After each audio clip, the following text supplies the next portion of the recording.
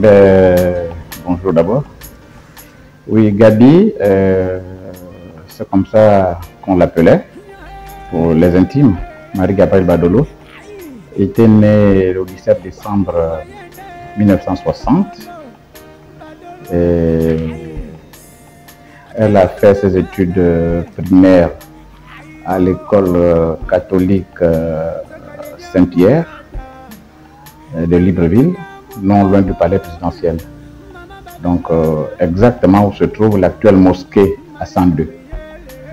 Euh, et moi, j'étais élève à l'école urbaine des garçons qui était dans la même zone euh, où se trouvent euh, en ce moment les logements, euh, les locaux de la gare républicaine. En face, il y avait l'école catholique Montfort. Il y avait également le centre culturel Saint-Exupéry. Nous sommes là dans les années 75-76. Hein. Et je me rappelle, je devais être au CP1, CP2. Et là, elle achève ses études primaires à l'école catholique Saint-Michel d'Inkembo. Euh, Elle débute ses études secondaires à l'Institut Immaculée Conception, toujours à Libreville. Euh, ce qu'il faut noter, c'est qu'elle était très engagée dans le mouvement euh, Cœur Vaillant et Âme Vaillante. Euh, je crois que c'est comme ça qu'on appelait ça. Euh, Âme Vaillante et Cœur Vaillant du Gabon. Donc, euh, depuis l'école primaire, elle entame une vocation euh, vraiment voulue chez les Sœurs Bleues, Euh, mais se veut est estompé lorsqu'elle tombe enceinte en 1977 de sa première fille, Armel. Et Ce qu'il faut savoir, c'est qu'elle était très rattachée à la religion. Elle avait eu tous ces sacrements, du baptême à la confirmation, en passant par la première communion, ce, qui lui, ce qui lui valait l'estime des responsables, tels que Sœur Saint-Martin, Mère Jean-Gabriel, qui étaient les responsables religieuses, à, que ce soit à Saint-Michel d'Unkembo ou à Immaculée Conception. Arrive euh, la mort de papa Ambrose Makinda en mars 1978. Et cela, c'est à ce moment que euh, le neveu euh, de papa, Cadet, euh, décide de rapatrier toute la famille sur Kulamuto. Donc, sous son autorité, avec son impulsion, il décide que non, euh, son oncle Makinda est décédé, donc personne ne reste à Libreville, et donc tout le monde descend sur Kulamuto. Et là va commencer une autre vie. Donc, c'est ainsi euh, qu'elle se fait inscrire au lycée d'État de Koulamto, je crois en classe de, de troisième, parce qu'elle elle avait fait de la sixième en quatrième à Immaculée. Donc, elle s'inscrit en troisième euh, au lycée d'État de Koulamto, et jusqu'au brevet. Donc, euh, elle obtient son BPC et elle rentre par voie de concours à l'école interprovinciale de santé de Franceville, où elle sort diplômée euh, d'infi- infirmière assistante après trois ans, de formation. Donc, euh, après ces trois années de formation, elle est affectée au centre médico-social à la CNSS de Koulamto. Après euh, la CNSS de Koulamto, au centre médical, elle est mutée, affectée à la Fondation Jean Leboury, au service de cardiologie. Donc, euh, et c'est de là-bas où il fait valoir ses droits à la retraite. Bon, et grosso modo, c'est un peu ça, euh, sa vie, hein, brièvement. Et le 18 avril 2022, elle est rappelée à Dieu après plusieurs mois maladie. Toutefois, euh, Marie Gabi a été tout au long de sa vie une dame très attachée à la famille, que ce soit paternelle ou maternelle. C'est difficile de le voir euh, en colère. Il était toujours ce sourire aux lèvres, euh, une dame humble, modeste, pas du tout complexée. Hein. C'est vrai, vous l'avez dit, elle était ma complice d'une certaine manière, car on était très liés naturellement. Il arrivait, il arrivait souvent qu'elle me laisse la gestion de certaines choses, de son modeste patrimoine, ce qui n'était pas souvent du goût de certains. Mais enfin.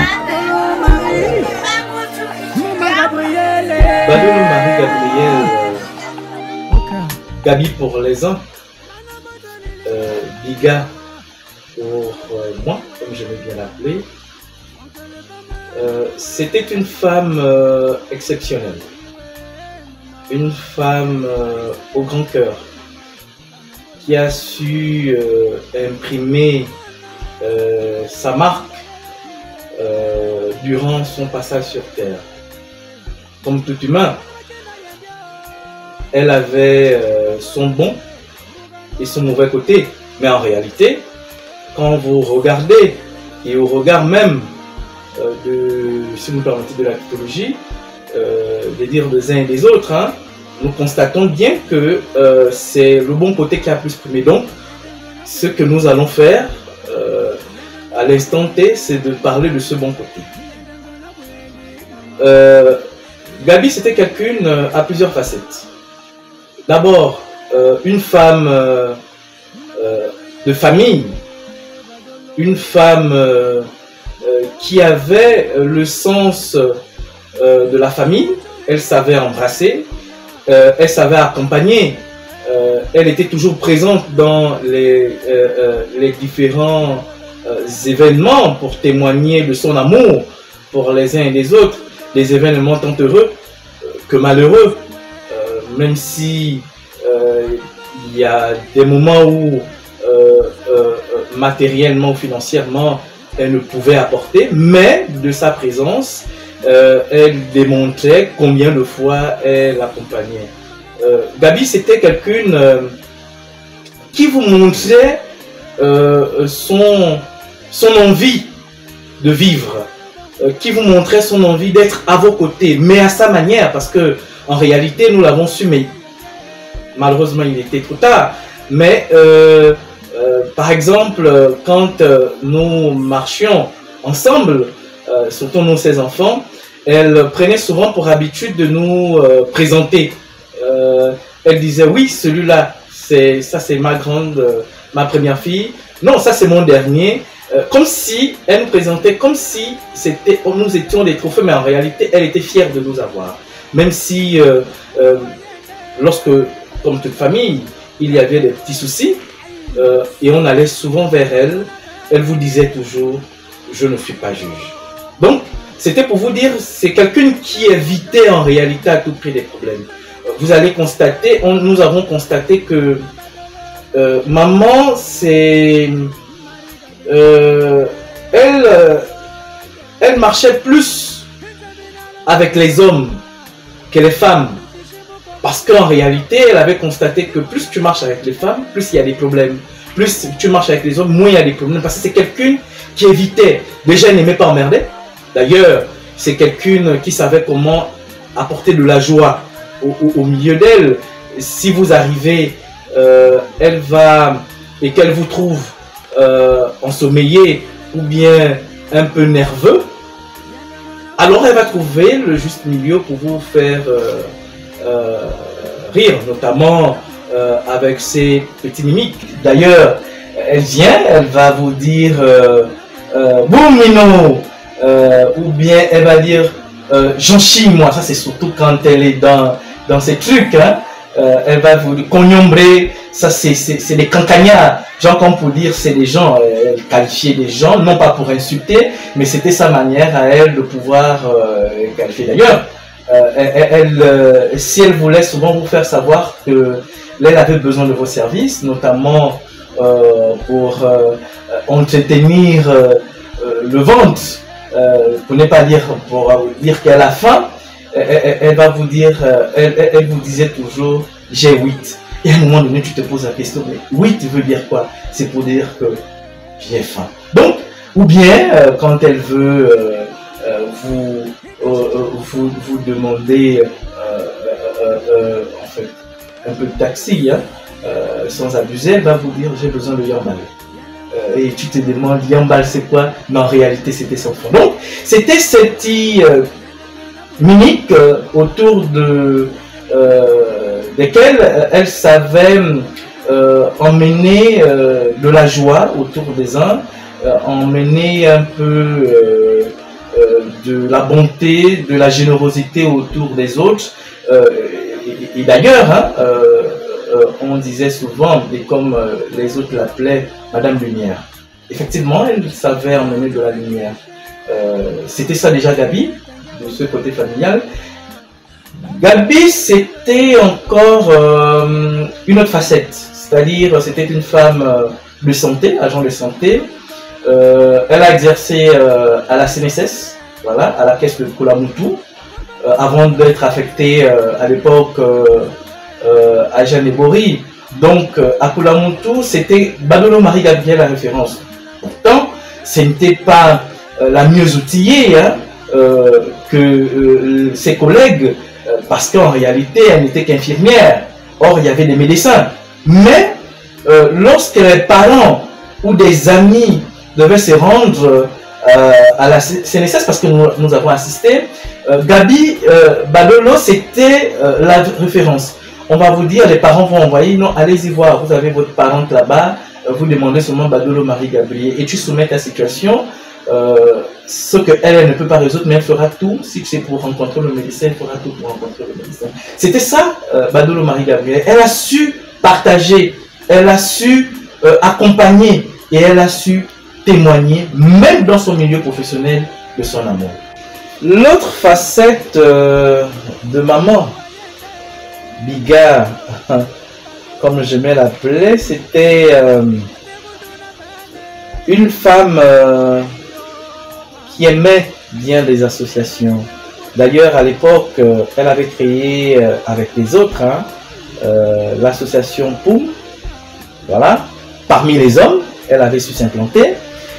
Elle était, on les appelait les âmes et les hommes vaillants mais en réalité c'est des scouts parce que euh, moi je me rappelle maman euh, dans son dans ce domaine du scoutisme elle nous a elle nous emmenait. D'ailleurs euh, elle avait une responsabilité au sein de cette de ce mouvement au sein de ce, mouvement et, et elle il y avait plusieurs noms. En fait, on se posait la question qui? Il y avait le chef Blanc, le chef Balou, le chef qui, le chef Lézard. Elle, c'était la cheftaine Gazelle c'était la châtaigne gazelle. Et à un moment donné, bon, je disais ça, ça la convenait parce qu'en réalité, de par sa rigueur euh, dans ses mouvements, et, bien évidemment, son fin corps, euh, je disais oui, c'était vraiment une gazelle. Donc, elle nous a, elle nous emmenait dans ces mouvements-là et euh, nous nous accoutumons de pouvoir. ça, ce mouvement, c'était un ensemble, c'est une création de famille. Vous voyez, elle s'entourait en fait des, structures euh, qui assemblaient, qui ressemblaient des gens, euh, qui créaient des familles, qui créaient l'harmonie. C'était une femme euh, rompue à la tâche. Et, et, Badolo, avant de conclure, Badolo Marie-Gabriel, c'était une fine, une fervente militante hein, de, de, l'ancien régime, notamment du Parti démocratique gabonais. à l'époque, elle était à l'époque du parti unique, elle était euh, euh, membre de l'UJPDG, notamment Vedette, voilà, avant de rentrer dans euh, le groupe socioculturel Mayaya, jusqu'à ce qu'elle nous laisse. Mais elle était militante non seulement du Parti démocratique gabonais, membre de comités, membre des fédérations. elle savait imprimer même au sein de euh, de sa fédération, même au sein du parti auquel elle appartenait, elle savait s'impliquer, elle a su laisser son empreinte. Euh, c'est dire que Gabi, en réalité, c'était euh, une femme euh, accomplie. Elle nous manque. Elle me manque. Je sais que de là où elle est, elle nous regarde. Elle nous observe. Que Dieu nous bénisse.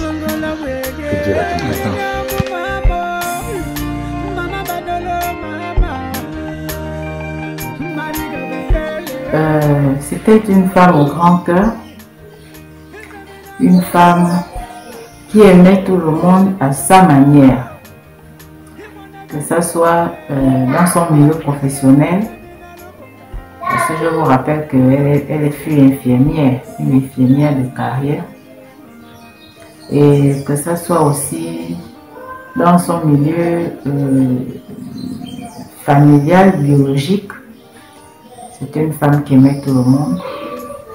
Ses enfants, elle aimait ses enfants à son niveau. Chaque enfant avait de la place dans son cœur. Mais que nous avons su comprendre après. Euh, Gabi, c'était une, c'était ma complice, ma grande complice, parce que ce qu'elle faisait, là où elle allait, j'étais toujours au courant toujours son côté comique, là où elle aimait plus, elle aimait l'argot, elle avait toujours de ces mots-là. Euh, la, Laco, Marco, dit que dit, je dis dit. Mais est-ce que tu sais qu'à la Concorde là-bas ça pète Loïc et Pilorget, Pilorget a fait un coup à Loïc. Tout ça quand elle sait déjà qu'elle a gaffé, elle est partie peut-être de la maison depuis le matin et puis moi, je l'attends à pied ferme, de pied ferme à la maison. Donc, elle vient m'embrouiller comme ça. Elle ne gardait jamais la colère. Toujours euh, avec ses petits-fils. C'était toujours euh, la joie de vivre avec ses petits-fils. Elle savait partager. Euh, C'était aussi une elle était, toujours, elle était aussi dans Mukora, dans Mayaya, Mukora Mayaya, membre du PDG, elle était dans le PDG. Euh, nous, elle, on l'avait nommée chargée de la discipline. Et à moi de dire que toi, tu n'es pas une chargée de la discipline, tu es chargée de l'indiscipline parce que toi, tu ne ressembles pas à quelqu'un qui prône pour la discipline. Donc, on rit comme ça.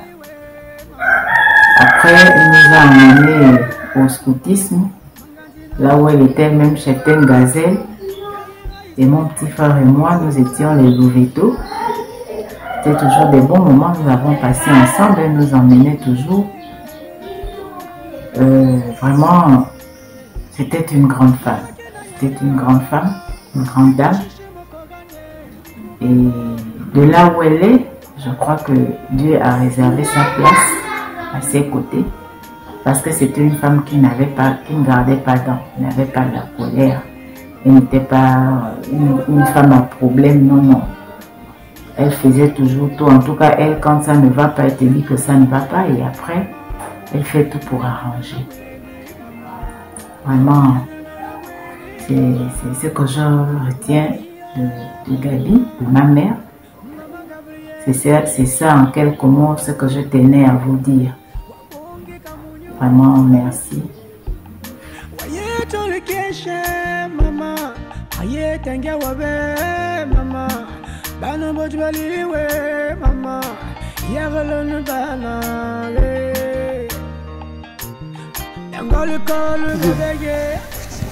Adolo Marie Gabriel, c'est une femme, une femme au grand cœur. Quand elle était chez moi, il n'y avait pas de soucis. Elle aimait les blagues, toujours en train de s'amuser. Pouvez vous chamailler là, elle ne gardait pas la rancune. Elle venait toujours vers toi. Tu, tu vois seulement un bon matin, ma fille. Ah, aujourd'hui, il y a la niaise, hein, il y a la 8. La 8. Ah, la femme, là, la niaise, c'est quoi? Mais la faim. On est là, on rit. Hein, avec sa petite fille. Il n'y a pas la gise là? C'est quoi la gise? Oh, la cigarette. C'est ça. Avec Gabriel, qui est ma mère, me manque. Elle manque aussi à ses petits-fils. Elle nous manque à nous tous. Je me souviens une fois, un jour avec sa petite fille, elle disait à sa petite fille, quand tu te bats avec quelqu'un, si tu n'as pas de force, tu piques les dents. Ça a dit, comment ça, Badolo? Comment tu peux me dire? Ça Elle dit, oui. Donc tu préfères te laisser abattre? Tu piques les dents quand tu n'as pas de force, tu piques. Et tu verras, personne va laisser. On est tous à la maison, c'est mis à rire. Ah, en dehors de ça, on me manque. On me manque tellement.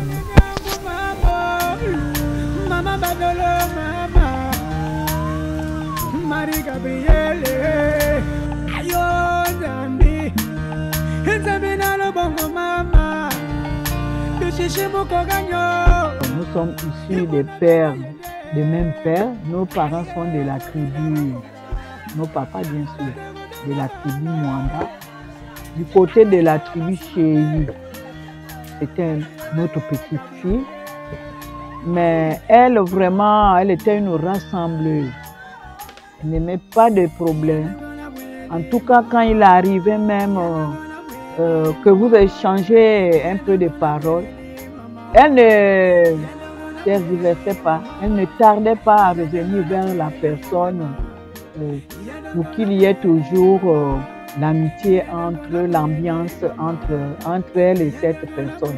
En un mot, elle n'était même pas rancunière, elle n'était même pas euh, coloreuse, si on peut le dire ainsi.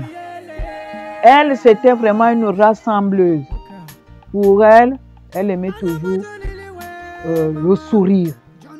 Elle ne voulait pas voir quelqu'un triste.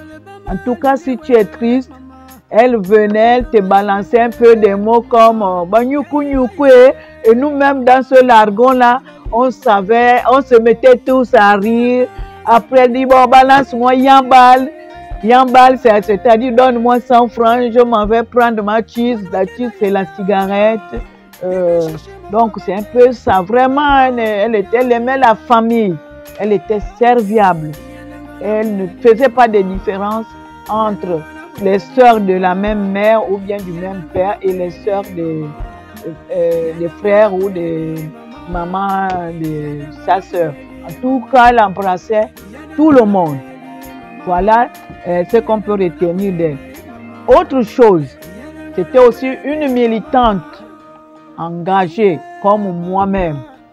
Nous étions toutes les deux euh, chargées de discipline dans le groupe euh, Mayaya. Mais quand elle et moi, on était ensemble, en tout cas, il y avait de l'ordre lors des manifestations. Quand euh, euh, le groupe prestait, mais on était toujours félicités. Il arrivait même des moments où certains camarades disaient, voilà, vous avez mis deux sœurs à la discipline, voilà comment ça marche. À un moment donné, j'étais partie de euh, ce poste pour être maintenant dans le bureau euh, du groupe euh, euh, socio-culturel Mayaya. Elle est restée à, à- la discipline, mais c'était toujours le même travail. Elle abattait toujours un bon travail. Je l'ai eu aussi comme euh, secrétaire de comité. Moi, j'étais secrétaire de section. Mais alors là, vraiment, elle avait de tous mes secrétaires de comité, elle avait la palme d'or. Dès que tu lui donnais l'information, bien un travail à faire, aussitôt à la minute, elle a déjà euh, saisi tous ces militants, elle a déjà passé l'information. Si c'est un travail qu'elle doit venir te remettre, elle était parmi les premières. Mais vraiment, on a perdu une personne. Vraiment, elle nous manque. Mais je sais que là où elle se repose, elle continue. Elle était très serviable. En tout cas, elle rendait visite à, à tous les membres de la famille sans différence et sans distinction.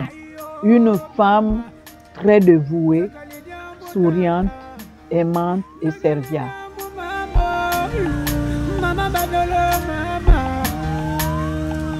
Euh, Badolo Marie-Gabriel, dit Gabi, ça c'est pour nous les intimes. était effectivement ma parente, mais plus précisément ma, mère. Ma mère, parce que nous tissons un lien directement du fait qu'elle était la sœur de maman Pauline, la maman Pauline ici. Et tous les deux étaient naturellement issus du clan Mwanda. Et c'est en cela que c'était ma mère. En fait, on parle de c'était peut-être physiquement, mais elle reste ma mère. Voilà ce lien de parenté entre elle et moi. Marie-Gabrielle Badolo Gabi, euh, ma mère, comme je disais, était une femme euh, à plusieurs euh, cordes, on va dire. Elle était une mère, une professionnelle, elle était très associative, elle euh, savait embrasser la, famille. Et j'ai pour preuve euh, qu'à chaque fois qu'il y avait un souci au niveau de, de la famille, elle y était. Et pas comme une figurante, mais elle était bien présente et très active quant à son rôle à jouer dans cette famille-là. Et même dans les différentes associations, comme je disais, plus encore sur le plan professionnel. Oui, Maman Gabi était une femme, je disais qu'elle était très ouverte à la famille, à tout ce qui était autour d'elle, mais comme une bonne mère, elle euh, savait, comment dire ça, euh, caresser dans le sens du poil quand il s'agissait de le faire, et certainement aussi taper sur la table quand il s'agissait également de le, de le faire. Donc, elle euh, s'accommodait à toutes les circonstances justement pour euh, l'éducation, pour la mise en place des règles euh, euh, élémentaires de, de loi dans nos coutumes. Et elle, euh, c'était quelqu'un de plus, de, de très ouverte, très ouverte dans les relations familiales. Bon, je me rappelle que dans le cadre familial, on passait beaucoup de temps à se foutre la gueule des uns des autres. Quand euh, je ne me mettais pas moquer de sa grande soeur, c'est elle qui venait me taper un peu sur les doigts pour dire non, non, c'est ma grande soeur, il ne faut pas. Et puis la minute qui suit, elle me dit finalement, mon petit, tu avais raison parce que la grande, voilà ce qu'elle a fait, ce qu'elle a fait. Et dans le cadre euh, associatif, je m'appelle, euh, elle n'avait pas de, de limite. Euh, nous avions créé, ou du moins certains membres de la famille et des amis avaient créé une association qu'on appelait le POUM. Et malgré le fait qu'elle était une femme, elle s'était euh, personnellement investie dans l'association. Et tout se passait bien. Et voilà encore beaucoup de choses que j'ai retenues. C'était une grande mère de famille. Euh, enfin, grande maman de famille. Elle n'avait pas que les, ses enfants biologiques euh, qui sont comptés au nombre de doigts de la main. Elle avait une grande progéniture, je dirais. Et elle savait embrasser tout le monde distinction. Et le faisait vraiment de tout cœur. C'était une mère de cœur.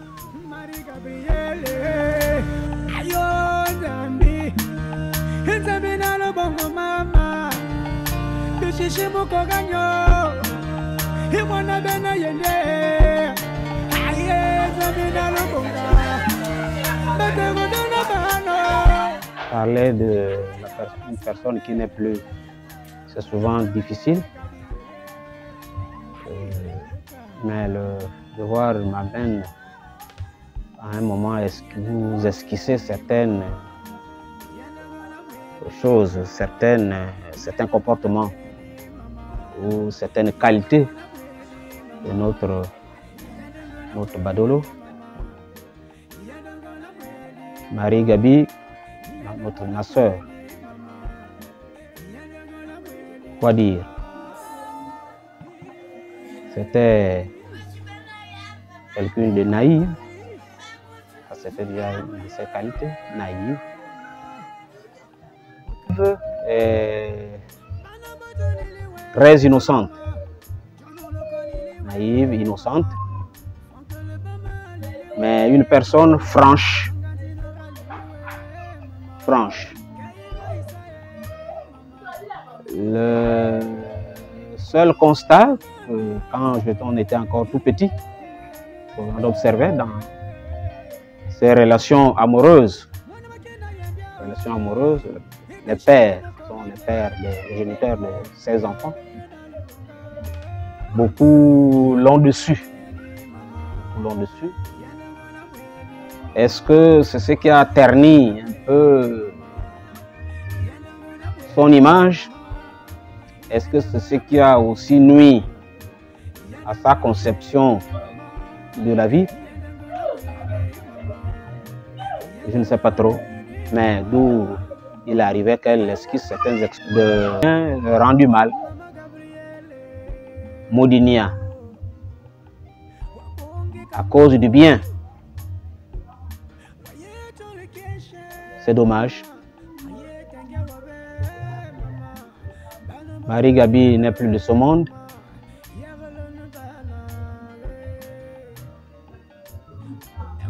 Euh, le regret est immense, surtout pour euh, beaucoup de ces enfants que certaines qui ont pris des distances, déjà même de son vivant. Eh bien, qu'est-ce que vous voulez? C'est ainsi.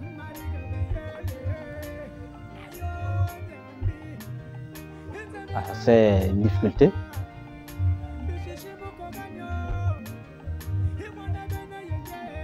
Bon, ensemble, en famille, Gabi, c'était une personne sans problème.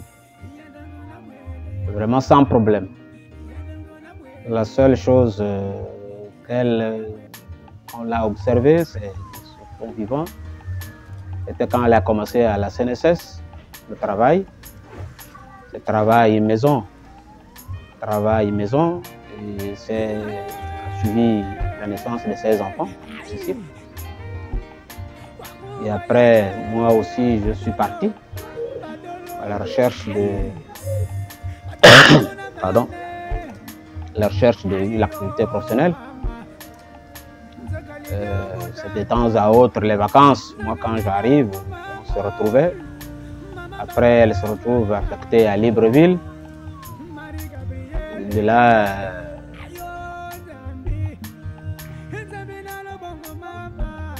tant mieux que mal, jusqu'à ce que ces difficultés professionnelles arrivent, elle regagne Flamotou. Rien de très parti- particulier, je reconnais seulement une femme joviale, sincère et très très très amicale. Très amicale. Que la terre lui soit légère.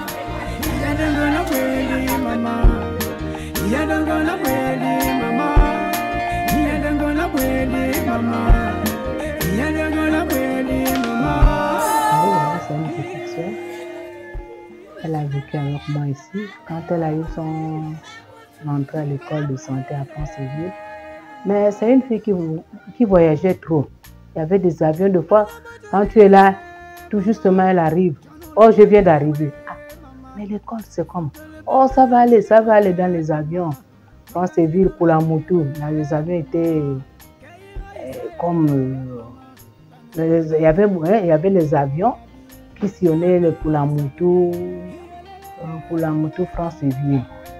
Bon, c'était une fille bien. Même quand elle me parlait, elle avait du respect envers moi. Toujours, elle m'appelait toujours grande sœur. Tu ne peux pas entendre qu'elle m'appelle Yi ou bien machin, non. Toujours grande sœur, grande sœur. Même quand elle me parlait un, problème là, surtout concernant les yam, yam, yam, yam bal, yam bal là. Mais j'ai dit yam bal, c'est quoi? Moi, je ne connaissais pas. On me dit au 100 francs. J'ai dit, ah J'ai dit, quitte-moi avec ton français là. Mais c'était une personne bien. Mais ce qui est arrivé, c'est arrivé. Elle a bien servi aussi au travail. Elle était, elle était correcte dans son boulot. Quand tu as un problème, tu lui soumets le problème. Si elle a ça, elle te donne. Si elle te dit qu'elle n'a rien, elle n'a rien. Donc, euh, c'est ce que je peux dire pour ma soeur. Hein. Que je l'ai connue, jusque quand elle est partie là. Même, elle, elle aimait trop les blagues. Les blagues. Pour elle, surtout les blagues. Elle faisait rire. Même si tu es fâché, mais quand elle fait quelque chose, tu es obligé de rire. Des fois, tu dis que je ne la nomme plus. Mais quand elle fait quelque chose, tu es obligé de rire. Et la colère est finie. Donc, c'est ce que je peux dire sur ma petite sœur. Hein. Euh, que, que Dieu garde où elle est partie là-bas. C'est tout.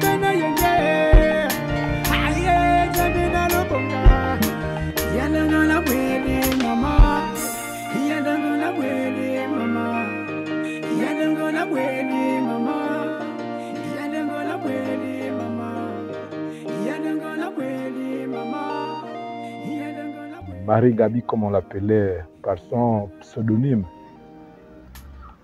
euh, était une femme serviable. Je l'ai connue lorsque euh, j'étais au primaire euh, à la mission catholique et elle était à la CNSS comme assistante sociale. Et lorsque les parents étaient malades, la référence, c'était pas tout le corps médical, c'était il faut aller chez euh, Marie Gabi, votre parente, elle est là-bas et elle va vous présenter au médecin. Donc, euh, cette coutume qui était devenue une habitude s'était installée. Donc, tous les parents que nous avions à l'époque, quand ils étaient malades, se rendaient à la CNSS, centre médical de Kulamotu, pour euh, se faire soigner.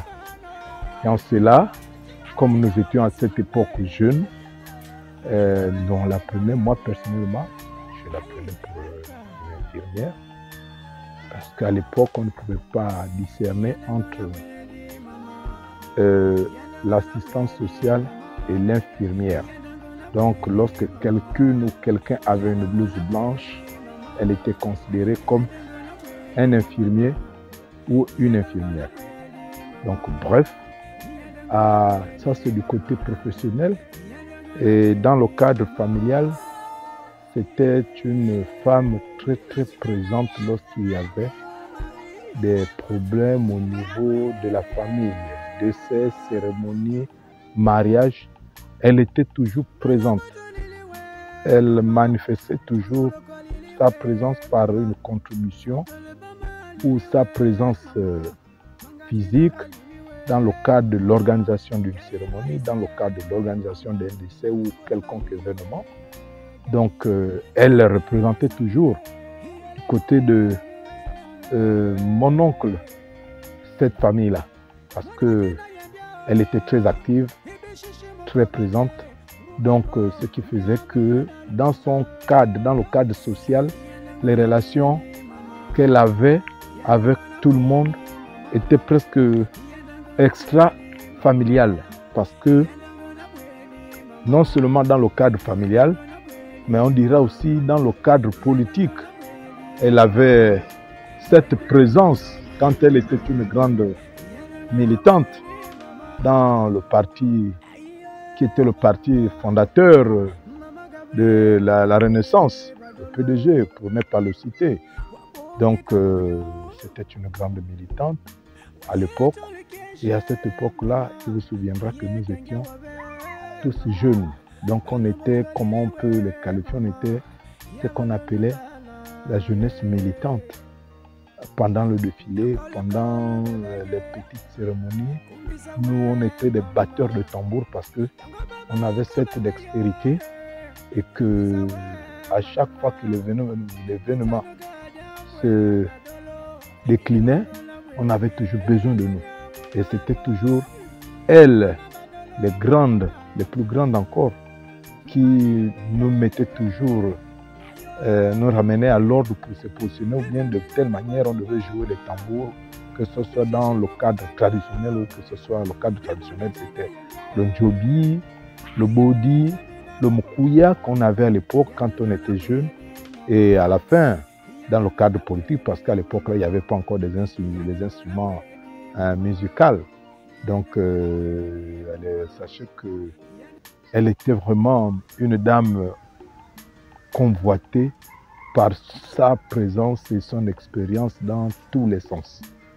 Voilà un peu de manière vraiment ludique que je peux dire que Madame Badolo, qu'on appelait Marie Gabi, au niveau de euh, l'amusement, elle avait cette habitude. Quand elle vient, elle me trouve, j'ai l'étalage des rejets, pas les rejets, les bananes qu'on je coupais derrière la maison. Et que elle, elle vient, elle dit, mais papa, oui, tout ça c'est pourquoi? J'ai dit, ah, c'est juste pour euh, orner la terrasse. Elle dit, mais il faut que tu en donnes aussi à tes petits-fils pour que eux eux vont manger lorsque ça va dit, mais prends-en. Et elle prenait souvent un régime. Elle dit, ça me suffit, c'est bon pour eux. Merci beaucoup, papa. J'ai dit, de rien, c'est pour toi. Elle dit merci. Et lorsqu'elle partait, elle dit, mais tes petits-fils sont beaucoup appréciés. Et lorsque ça nous ils ont dit, maman, il faut nous amener à tout moment les régimes de bananes parce qu'on aime ça. Donc, vous voyez, lorsqu'elle passait, elle dit, ah, mais c'est pas encore mieux. Je dis, non, c'est pas mieux. Euh, Badoni Marie-Gabrielle, c'est une très belle femme. Je l'ai connue, j'étais jeune, elle était jeune, au moment où mon défunt mari m'a convoité depuis le- l'école. Et chaque fois, on partait passer les vacances à Libreville. Et elle et moi, on faisait toujours les jeux de cure comme des petites filles. Maintenant, après Libreville, nous sommes perdus de vue, mais nous sommes retrouvés à Kulamutu. À elle était une bonne infirmière, une infirmière qualifiée à la presse. Et à chaque fois, elle aimait la compagnie des hommes. Elle n'aimait pas, n'aimait pas la compagnie des femmes parce qu'elle évitait les pourparlers, les problèmes, les on-dit et tout et tout. Donc, elle s'attachait toujours plus aux hommes qu'aux femmes. Mais moi, c'était une spécialité parce que, de un, c'était sa mère. Et c'était aussi une sœur. Parce que mon mari, mon défunt mari, était le neveu de son père. Et voilà comment j'ai connu Marie Gabi. Et Marie Gabi, à chaque fois, quand elle, est en ville, quand elle voit qu'elle ne peut plus aller chez son mari, monsieur, euh, je ne sais pas comment on l'appelait même, bon, elle venait, elle me cognait, elle dit, maman, aujourd'hui je dors avec moi. Est-ce que papa est ici? J'ai dit non. J'ai dit, je dors, maman, je dors avec toi. Elle dit, bon, ok, il n'y a pas de problème. Et on dormait ensemble le matin. Elle se lève, elle va, elle repart chez elle, se préparer pour aller à son boulot. C'était comme ça j'ai connu Marie Gabi jusqu'au moment où Marie Gabi est partie à Libreville. Elle est, elle est partie à Libreville, après elle est revenue ici à Kolamutu. On était toujours ensemble jusqu'au au jour où Marie Gabi nous a laissés. Mais C'était quand même déplorable parce que c'était une femme qui n'avait pas de problème avec les gens. Elle n'avait pas de problème. Tu ne peux pas entendre que Marie Gabi a fait euh, euh, des bruits, les bagarres et tout et tout dans la rue. Jamais. C'était son travail, son boulot, et puis on, on se retrouvait de temps en temps prendre un pot, et puis on se dispersait, chacun allait chez Merci parce que tu me rappelles euh, l'histoire. L'histoire de Marie Gabi. C'est comme ça qu'on l'appelle. Marie Gabi. Marie Gabi, pour moi, c'est pas une sœur. Parce que sœur, ce sont les gens au moins d'une même génération. C'est ma fille. Elle est d'abord ma fille du côté de son côté paternel. C'est ma fille. Je l'appelais toujours ma fille. Marie Gabi, pour moi, comme tu l'as dit, elle était toujours proche, proche de nous, proche de moi, proche de mien, de ma famille, de, de, de nos groupes, toujours disponible. Elle a joué un grand rôle familial. Infirmière.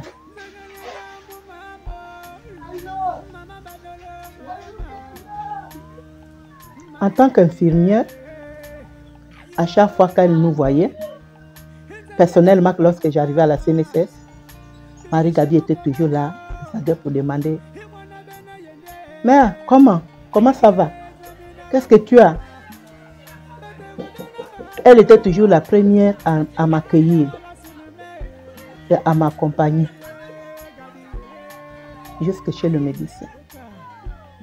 Je vous ai dit tout à l'heure que Gabi était une personne disponible à tout faire. Au niveau du parti, dans le groupe socioculturel qu'on gérait, le groupe Mayaya, le premier groupe de la commune, Marie Gabi jouait le rôle de chargée de la communication. Mais elle a commencé jeune, même en tant que vedette. Elle a toujours montré sa disponibilité et son amour envers le prochain. Parce que lorsque je lui disais, Marie Gabi, j'ai des, des- convocations ou bien j'ai des informations à donner aux militantes, elle venait toujours. Donc je vais aller, elle allait de maison en maison pour transmettre. Donc ce n'est pas donné à n'importe qui. Belle fille et son état. Gabi, je l'ai encore bien connue lorsqu'elle était avec euh, Monsieur Loko Konza, son mari. J'étais aussi avec un agent de la sécurité pénitentiaire. Jusqu'à Franceville, on est allé, on, était toujours ensemble, on se fréquentait et les relations entre nos deux hommes, vraiment, ça s'est plus amélioré parce qu'ils ont compris que entre Gabi et moi, il n'y avait que la relation de mère et fille en complicité. Gabi, je ne peux pas cesser de dire que nous regrettons beaucoup. Nous regrettons parce que lorsqu'on y va, on ne revient pas. Mais lorsque devant moi, je vois des enfants, je me dis que oui, on a toujours l'espoir de nous retrouver en famille, même avec les enfants qui te rappellent du passé. Qu'est-ce que je peux ajouter? Que Dieu lui protège. Que Dieu la garde de son côté. Parce que je ne sais pas le côté, je n'ai pas vu le côté négatif de Gabi. Gabi est restée militante jusqu'à la fin. Gabi est restée dis- disponible jusqu'à la fin. Je peux dire jusqu'à la dernière semaine, ils étaient déjà à un meeting avec le groupe. Les autres l'ont vu. Et c'est quelques jours après qu'on apprend qu'elle est partie. Nous regrettons beaucoup. Mais comme vous savez que c'est Dieu qui donne, c'est Dieu qui reprend. Même si on regrette, nous n'avons plus de solution. C'est seulement à demander à Dieu de préserver, pour qu'elle, de la préserver pour qu'elle puisse, dans ce monde-là, vivre à leur manière. Que Dieu lui garde.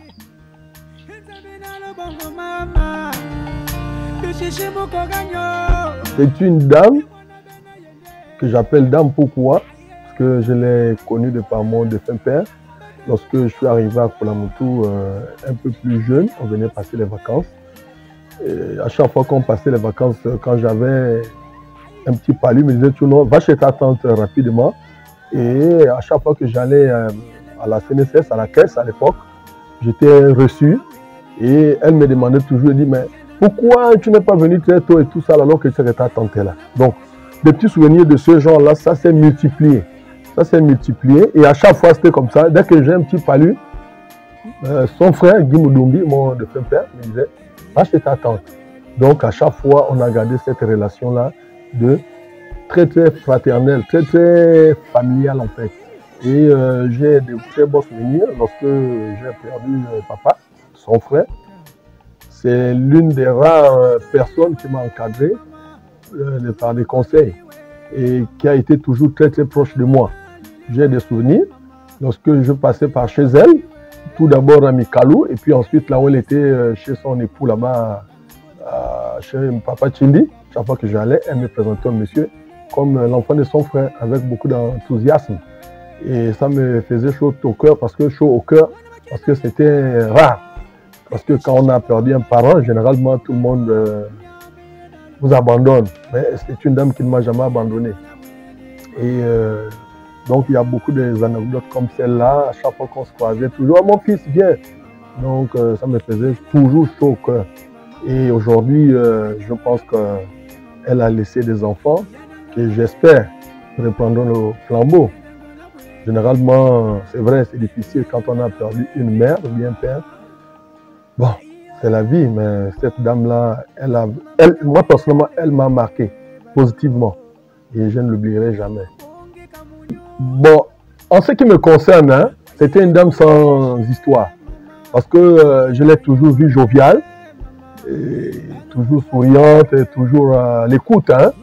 Hein, moi personnellement, euh, moi je précise bien que c'est l'une des parents de, mon père qui m'a vraiment encadré sur le plan moral. Parce qu'il y a beaucoup qui étaient autour de mon père, que même jusqu'à présent, même, je ne sais même pas si elles me reconnaissent en tant que fils de leurs parents. Mais cette dernière-là, chaque fois qu'on se croisait toujours, elle n'hésitait pas à me présenter comme son fils. Et ça me faisait chaud au cœur, comme je l'avais déjà dit. Mais vraiment, c'est une dame sans histoire, hein, je pense. Et euh, vous savez, nous, on a cette particularité, nous, les Massango, d'être euh, euh, des gens sans histoire. Donc, euh, je ne pense pas qu'elle ait eu euh, des problèmes particuliers dans son entourage. Nous sommes humains. Bon, pour la qualifier, c'est, sans prétention aucune, moi, je pense que c'est une dame au grand cœur. Au grand cœur. Les gens voient, par contre, euh, le plus souvent, les gens ne voient que les biens matériels. Hein. Mais moi, je vois le cœur. Vous voyez Parce que elle donnait.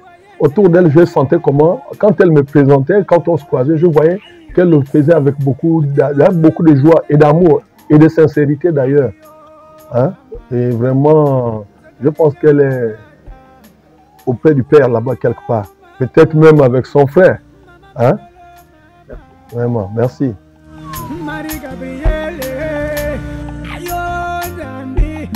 Non, Badona Marie-Gabrielle n'était pas ma, ma copine, elle était ma soeur.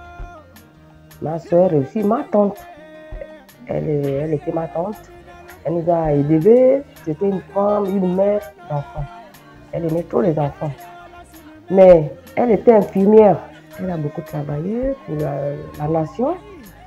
De temps en temps, elle, nous entretenait à la caisse et pourtant il y avait beaucoup de médecins. Il fallait toujours voir tante Marie-Gabrielle. Et à, travers elle, on m'a traité dans l'autre groupe. Son collègue de, la, formation m'a dit non, la signature là c'est pour Marie-Gabi. J'ai dit non. Il dit non, c'est pour Marie-Gabi. Il dit non, c'est ma, ma tante. Il dit ah bon? J'ai dit oui, c'est ma tante. Yo, la femme à cœur ouvert. Femme à cœur ouvert, bon, on faisait des balades hein, dans son groupe. Mais elle a toujours les petits mots, les cancagnas, les colombres, les yambas. Yamba là, c'est quand elle voulait fumer. Tu attends déjà qu'elle te demande Yamba, il faut dire que là, elle voulait fumer. Elle voulait fumer, mais ma tante était trop simple. Une femme simple. Elle n'aimait pas les problèmes, elle n'aime pas le bruit. C'est mal la galerie.